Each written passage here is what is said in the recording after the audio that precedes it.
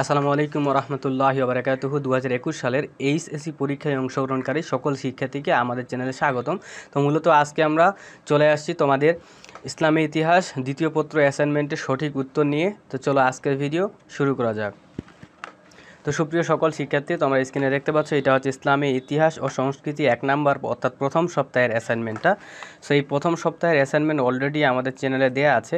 So তোমরা চাইলে হচ্ছে এটা চেক করতে পারো।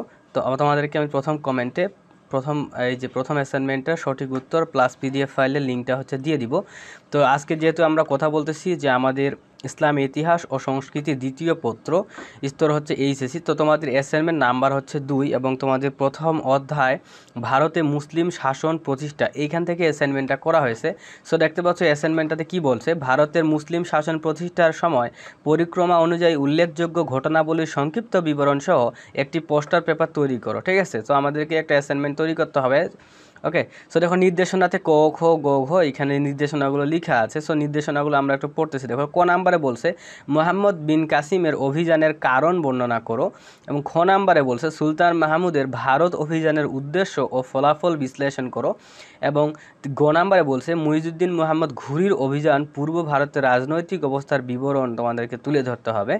এবং ঘ নাম্বারে, উল্লেখযোগ্য ঘটনাবলীর সম্মিলিত পোস্টার তৈরি করো। ওকে সো দেখো, আমাদের নির্দেশক থেকে ফলো করে কিন্তু মূলত হচ্ছে প্রশ্নগুলো সলিউশন করতে হবে। সো কো নাম্বার কী ছিল? মোহাম্মদ বিন কাসিমের অভিযানের কারণ। তো তার আগে একটা কথা না বললেই নয়, যারা হচ্ছে তোমরা ইসলামী ইতিহাস পড়তেছো, তোমরা কিন্তু জানো যে মোহাম্মদ বিন কাসিম এর যে এর যে ঘটনাটা, এই ঘটনাটা কিন্তু অনেক লং তারপর সুলতান মাহমুদ হ্যাঁ এই এরও কিন্তু হচ্ছে মানে সম্পূর্ণ মানে হিস্ট্রিটা অনেক বড় কিন্তু ইতিহাসটা। এবং মুইজুদ্দিন, মোহাম্মদ ঘুরি, এগুলো কিন্তু অনেক লং লং ঠিক আছে?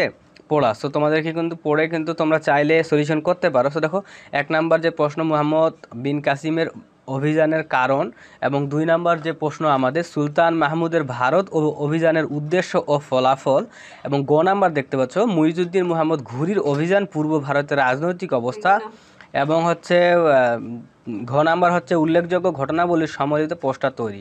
তো ষোলো মার্কসের প্রশ্ন আছে এইখানে তো আমরা হচ্ছে একটা প্রশ্ন হচ্ছে চার মার্কস করে, তো আমরা উত্তরে চলে যাচ্ছি।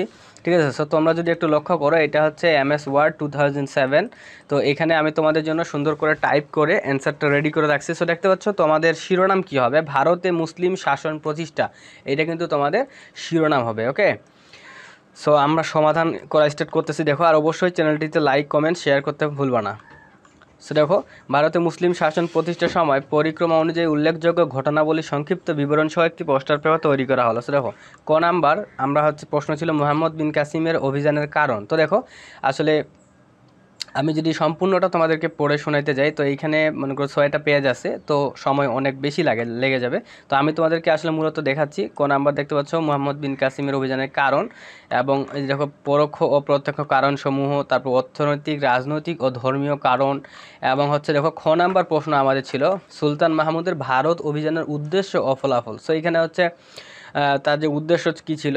অর্থাৎ দেখো রাজনৈতিক কারণ, কি কারণে সে মানে অভিযান চালাইছিল ভারতে? সে দেখো অর্থনৈতিক কারণ ছিল, তারপর এখানে সামরিক উদ্দেশ্যের কারণে, তারপর ধর্মীয় উদ্দেশ্য, ঠিক আছে? আবার হচ্ছে সুলতান মাহমুদের ভারত অভিযানের ফলাফলটা কী ছিল? ঠিক ছিল না ভুল ছিল? মানে এটা সম্পূর্ণ আলোচনা করা আছে। এবং হচ্ছে গো নাম্বার আমাদের প্রশ্ন ছিল, মুইজুদ্দিন মোহাম্মদ ঘুরির অভিযান পূর্ব ভারতে, ভারতের রাজনৈতিক অবস্থা, ঠিক আছে? সো মুইজুদ্দিন মোহাম্মদ ঘুরি যখন হচ্ছে ভারতে অভিযান চালায়, তখন সেখানকার রাজনৈতিক অবস্থা কেমন ছিল, সেটাই কিন্তু মূলত হচ্ছে এইখানে তুলে ধরা হয়েছে ওকে সো দেখতে পাচ্ছ এইখানে সুন্দর করে এই যে দেখো আফগানিস্তান, কার্শির ও কনৌস এইখান থেকে হচ্ছে অভিযান হয়তো শুরু হয়েছিল। তো এইগুলা হচ্ছে তোমরা সম্পূর্ণ পড়লে কিন্তু বুঝতে পারবা। তারপর দেখো সিন্ধু ও মালব, দিল্লি ও আজমির, ঠিক আছে? দেখো গুজরাট, আসাম ও নেপাল হ্যাঁ সো এখানে প্রত্যেকটা প্রশ্ন কিন্তু আমাদের সুন্দর করে কিন্তু দেয়া আছে ওকে সো ঘ নাম্বার প্রশ্নটা আমরা চলে যাচ্ছি। তো সুপ্রিয় শিক্ষার্থী, দেখতে পাচ্ছ, এখানে তোমাদের ঘ নাম্বার প্রশ্ন ছিল, উল্লেখযোগ্য ঘটনাবলী সম্বলিত পোস্টার তৈরি করুন ওকে সো আমরা হচ্ছে একটা পোস্টার তৈরি করব। সো দেখতে পাচ্ছ, ভারতে মুসলিম শাসন প্রতিষ্ঠার সময় পরিক্রমা অনুযায়ী উল্লেখযোগ্য ঘটনাবলী সংক্ষিপ্ত বিবরণ সহ পোস্টার তৈরি করে দেয়া হলো। এটি অনুসরণ করে তোমাদের বাসায় থাকা ক্যালেন্ডার এ ছবিগুলো সংযুক্ত করে পোস্টার তৈরি করে নাও। তো তোমরা হচ্ছে এখান থেকে সুলতান মাহবুদের দেখতে পাচ্ছ, ভারত বর্ষ যে অভিযান করছিল, তো এই যে দেখো, এটা একটা ইমেজ তো তোমরা চাইলে গুগল থেকেও ডাউনলোড করতে পারো এবং সাদা কালো প্রিন্ট করতে পারো এবং দেখো, মোহাম্মদ বিন কাসিমের সিন্ধু বিজয়। সো এগুলা হচ্ছে তোমরা গুগল থেকে ডাউনলোড করতে পারো ওকে তো দেখো গুগল থেকে কীভাবে ডাউনলোড করবা সেটা একটু দেখা দিচ্ছি। যে কোনো ব্রাউজারে গিয়ে তোমরা হচ্ছে বাংলায় লিখবা যে সুলতান মাহমুদের এই যে দেখো ভারতবর্ষ অভিযান চলে আসে তো তোমরা জাস্ট ক্লিক করে যদি ইমেজে চলে যাও, তো সেই ক্ষেত্রে এখানে অনেক ইমেজ পাবা। এই যে দেখো, এই ইমেজটা কিন্তু আমি কিন্তু ইউজ করছি ওকে সো এইখানে কিন্তু অনেক ইমেজ পাবা। এই ইমেজগুলো তোমরা সুন্দর করে সাদা কালো প্রিন্ট করতে পারো। প্রিন্ট করে হচ্ছে বেশ কয়েকটা পিক দিয়ে কিন্তু তোমরা চাইলে কিন্তু তৈরি করতে পারো, ঠিক আছে? সো এইখানে আমাদের যেহেতু প্রশ্নটাতে ছিল যে হচ্ছে মুহাম্মদ বিন কাসিমের অভিযান, তো তোমরা এইখানে সুলতান মাহমুদের জায়গায় হচ্ছে মুহাম্মদ বিন কাসিম যদি লিখে দাও, দেখো।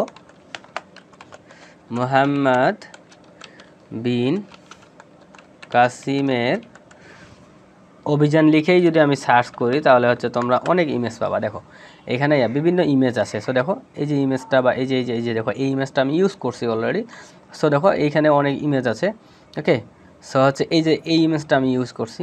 তো তোমরা হচ্ছে এখান থেকে যে কোনো ইমেজ নিতে পারো। তো সুপ্রিয় শিক্ষার্থী, আমাদের অ্যাসাইনমেন্টটা হচ্ছে আমি পড়ে শোনাইলাম না।